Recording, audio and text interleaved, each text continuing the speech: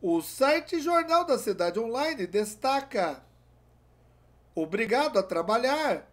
Tico Santa Cruz entre parafuso nas redes.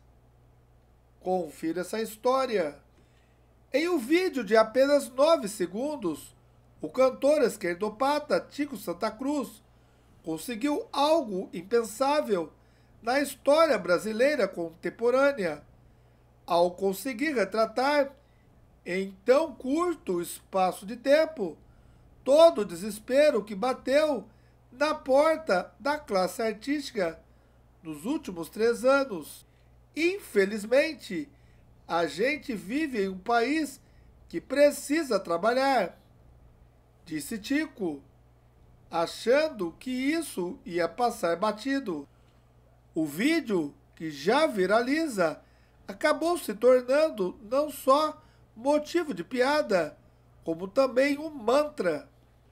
Tico Santa Cruz é apenas mais um entre os milhões de brasileiros que sentem os duros efeitos do fique em casa e a economia a gente vê depois.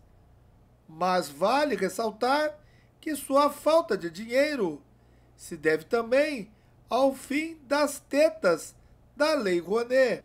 Ainda um outro ponto que fecha muitas portas para o esquerdopata já bem conhecido pelos artistas que sentiram isso na pele.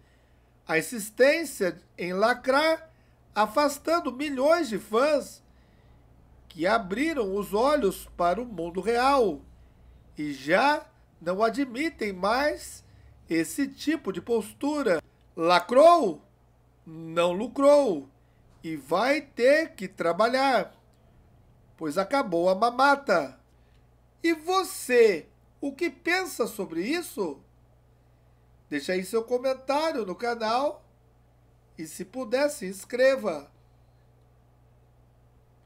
Vai ter que trabalhar! Vai ter que trabalhar! Não! Tenho que trabalhar!